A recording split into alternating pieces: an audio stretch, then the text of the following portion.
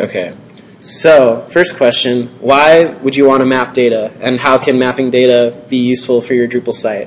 Well, first and foremost, it's about accessibility. Nowadays, it's not enough to know what you're doing. We want to know where you're doing it, and you want a visual representation of that. If you're just listing an address on your website, people are just going to open another tab and enter that information into Google Maps, so cut out the middleman. Um, there's also been a big technological shift towards collecting uh, information about your location. And a lot of major web services, you see Foursquare, Yelp, Facebook, etc., are all mapping data and using your location and that uh, type of thing. Also, with the advent of more advanced browsers and GPS-enabled mobile devices, um, people can know where you are at all times. And there's many different use cases. No matter what industry you're working in, there's always a benefit in having a store locator or having an event locator and people being able to know where your stuff is happening. Um, there's a lot of different contributed modules in Drupal that uh, deal with mapping and producing maps. Um, for a good rundown of the most popular ones and a comparison of their different features, um, use this link up here. There's a whole discussion on different mapping modules. Um, and these mapping modules uh, leverage some external services to actually generate the maps. Um, a bunch of common ones are the Google Maps API. There's also Yahoo and Bing Maps. Uh, OpenLayers by default uses OpenStreetMaps, but it also uh, there are a few modules that extend its functionality to provide integration with Mapbox and some other map services. Um, there's also an entire uh, Drupal user group dedicated just to location and mapping, um, and that can be accessed through this URL down here. So no matter what uh, mapping modules you choose to look into, they all follow the same basic paradigm, which is basically you need some field to hold your geodata, which will be uh, coordinates that a map can use to plot, uh, to plot and then you need some sort of module or service to actually render the map with that geodata. Um, the most common way of doing this would be to display it in a view. So the first mapping module we're going to talk about is Google Store Locator. If you're just looking for the fastest way to plot points on a map, or if you're new to Drupal, um, this module is probably the one you're going to want to use. Um, it's very straightforward, and it gives you everything you need out like right out of the box, ready to go, and you don't really need to know how the dependent modules work in order to use it. So um, there's the URL to download it. Um, like I said, it's ready to use right out of the block, right out of the box. It doesn't require any previous knowledge of dependent modules, um, but we'll get into those later when we talk about leaflet and open layers. Um, and so it gives you a preset content type, which is what you'll use to uh, actually plot your locations on the map. Um, and I have a demo set up, so we'll go ahead and look at that. Okay, so what the Google Store Locator gives you, it gives you one uh, configuration page where you can kind of specify some things for your map. Um, you can give the page a title. Uh, there's a search box that it comes with, and you can customize what it says how many stores to show, and then the default latitude and longitude and zoom level that you want your map to zoom in on. And then you can upload a custom marker icon for your store locations. Then if we go under structure, we can see that upon enabling the module, it gives you this uh, store location content type, and that's basically what you use to add all your stores.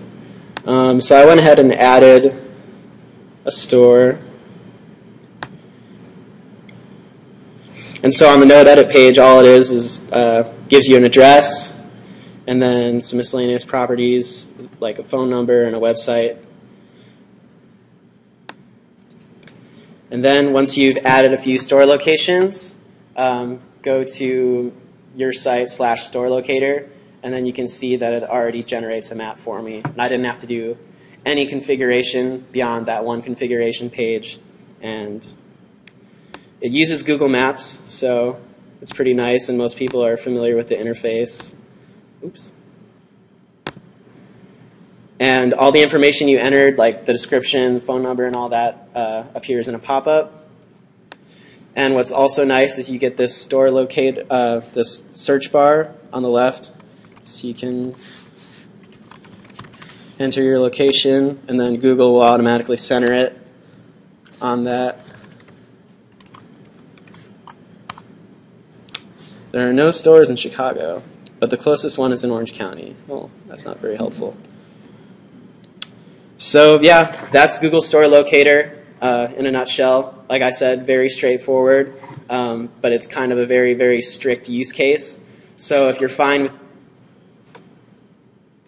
if you're fine with using that content type um, and using Google Maps, then it's definitely the way to go. It's very easy. Um, but if you want more customization and flexibility with your maps, um, we'll have to delve a little deeper into exactly what makes mapping and mapping modules tick. Um, so the dependencies for these modules are all uh, pretty related. Um, they use a lot of the same fields. So address field, geocoder, and geofield will go into. Libraries, also no-brainer since we're going to be leveraging external libraries like Leaflet and OpenLayers. Um, use GeoJSON is that one I don't really know much about, but you need it for Google Store Locator. Uh, did that. Okay. So uh, following the paradigm I talked about earlier, we're going to need to use a field to store our geodata, and then this will allow us to um, to map any entity, because uh, entities can have fields. So you can map users, taxonomies, and most likely content types. Um, so there's where it is on Drupal.org. So it's a field that stores geodata that's usable by a map. Um, and there's three main types of geodata that you can use. The most common one would be a point, um, but you can also map lines and polygons if you want to cover a specific area, or for example, you want to map a bike route or something like that.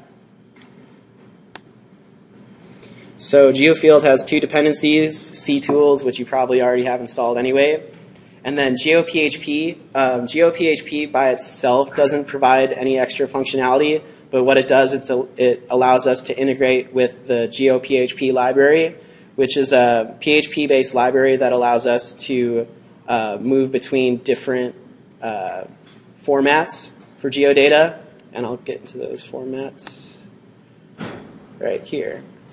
Um, so there's a few different widgets that you can use for GeoField to add geodata. The first one is using a bounding box, which basically just gives you four lat-long text fields where you enter the latitude and longitude manually. Um, you can also use well-known text, which is a markup language specifically for plotting vector geometry on a map um, you can draw directly on the map uh, using either leaflet or OpenLayers, and you can draw points, lines, and polygons and what have you. Um, GeoField also has an HTML5 geolocation widget, which works for newer browsers like Chrome and uh, GPS-enabled mobile devices. Um, but for most use cases, uh, these aren't very user-friendly, so you probably want to be able to geocode, geocode from a more user-friendly field like an address field. Um, and GeoField provides really nice integration with the geocoder module, which will allow us to have one field for our address field and then calculate uh, the latitude and longitude for that into our geofield. So moving back to our example, I created my own content type because I didn't want to use the store location uh, to go through adding these fields. So I created an event content type. And if we go in here, we can see I added an address field and then added a location field. Um, you pick what field it geocodes from, and then you can also pick which service to use to geocode it. Um, it's really up to you. Certain services have usage limits, um, so keep that in mind when you're choosing which uh, service to geocode with. And there's some other settings like the default geometry type, we'll just use point. And all that looks good. Geocoding is like just taking an address and turning it into a longitudinal map. Yeah. Um, it's, a, it's actually going to use well-known text, but it's the same concept. It's just turning, turning user-friendly information into information that the mapping modules can actually use to plot coordinates. Um, okay. So the next mapping module that we're going to get into is Leaflet. Um, Leaflet is very lightweight. It uses the Leaflet JavaScript library to generate uh, interactive maps where you can drag and move around, um, and it gives you some controls. It's very straightforward to set up. So all you have to do, um, the dependencies, libraries, so we can use the Leaflet library, ctools, entities, views, all stuff that you should have enabled on your site anyway. And now let's go to a demo. So the way that we're going to display our, actually,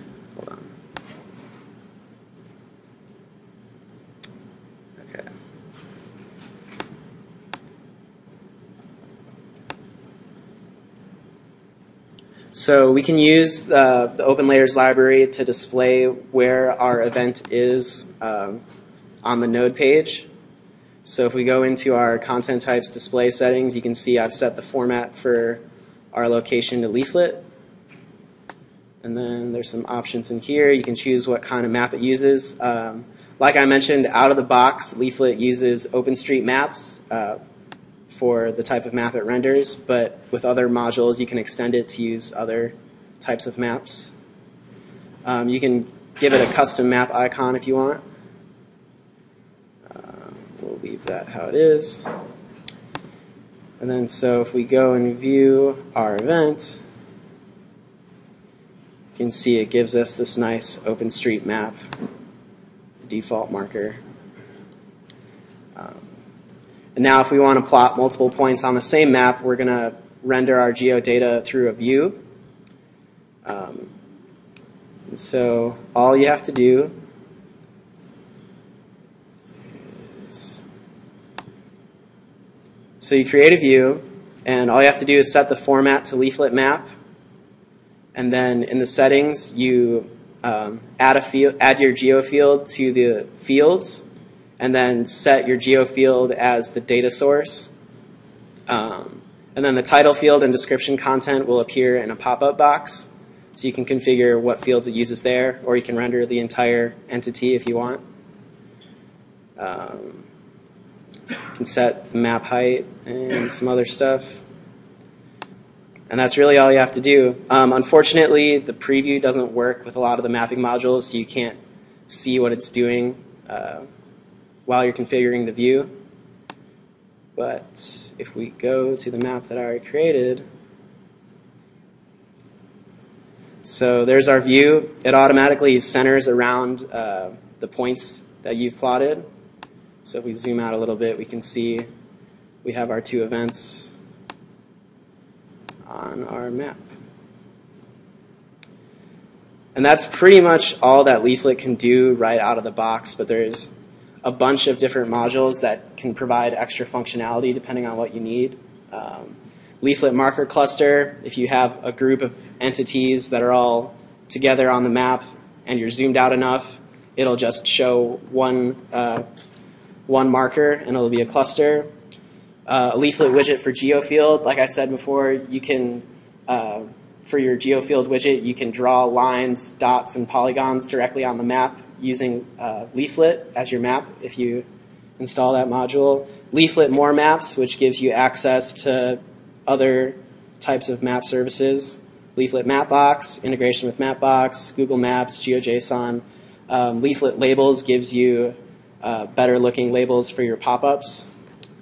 And those are all the extensions listed on the Leaflet Drupal page, but there are other ones.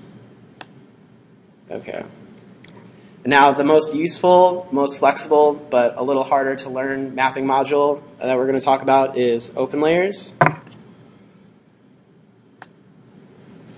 So the main thing that separates OpenLayers from Leaflet and Google Store Locator is that maps are their own objects.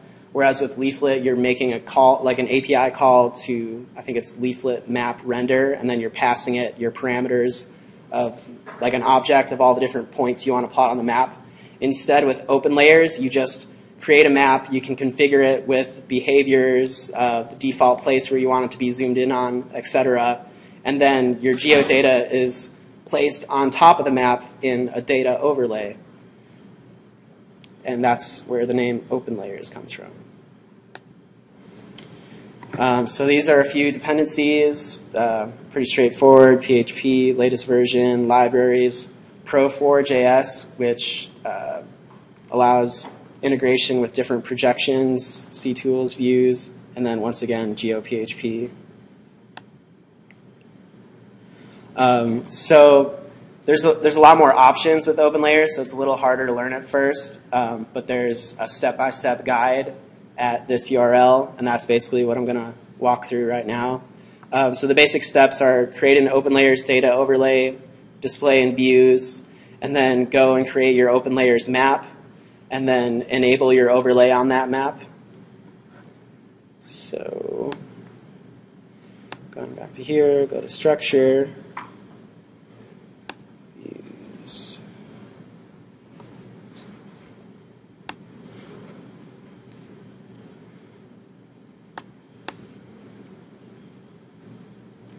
So first, created OpenLayers data overlay, and in the settings, give it a map data source. So we're going to use well-known text. And then the field that it's getting the well-known text information from is our location field.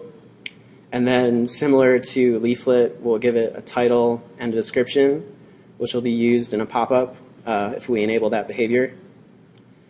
Um, and then once we've done that, go to Structure, Open Layers, We'll go to our maps. And so because maps are configurable objects, you can, uh, if you really like a map, you can import and export it from site to site. And you can use different map services on the same site, um, just make different maps.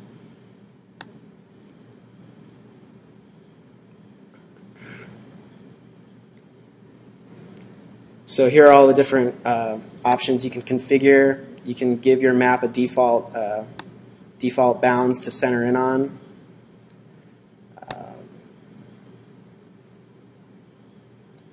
These are all the different services that uh, OpenLayers can use to generate maps. So you have all your Google Maps, MapQuest, Bing, OpenStreet, and Mapbox. And then here's where you enable the different layers that can appear on that map. So as you can see, I have uh, two different data overlays. Um, and I'll get into what those are. So basically, what separates this from Leaflet is that you can have different types of markers. So say that you wanted to plot different content types on your map and have them have different markers, or if you want to have different markers per taxonomy term, OpenLayers allows you to do that.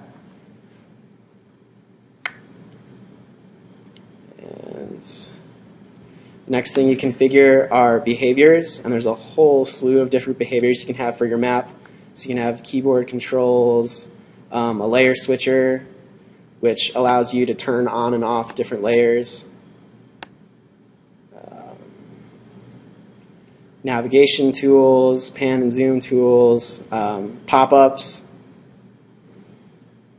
and a bunch of other ones lots of different configurable options with open layers. And then in order to display our open layers, um, we're going to leverage views. So we'll go back to our view. Actually.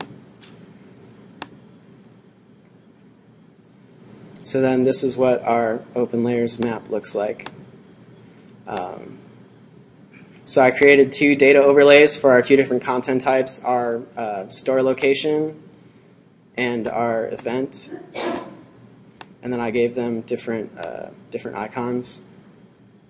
If you want to use a custom icon, the easiest way to do that is to um, add a field and add a, like a custom text field and have that field be the path to your marker. And then uh, in the style field, you can specify that field as your source for your uh, marker style.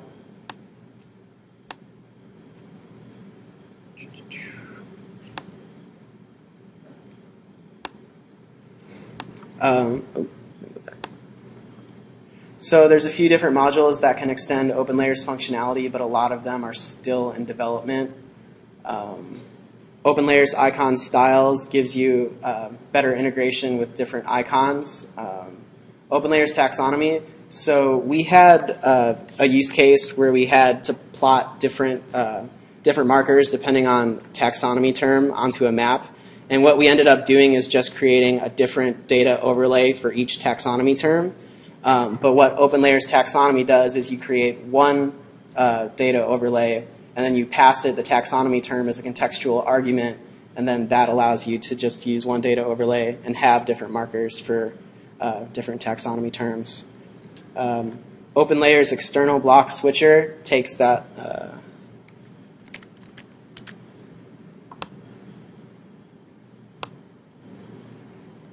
it takes this thing and allows you to display it as a separate block. And then there's a few other ones uh, that are still in development, but one example that I saw was uh, Open Weather Map, which gives you another type of map to display that can give you weather information. And that's all I got. Sped through that. Um, there's two other KWALL presentations today. They save the best for last. Uh, so you can check out Drupal 8 overview with Patrick at 1.30, and our CEO, Kevin, will be giving another presentation at 2.30. And that's it.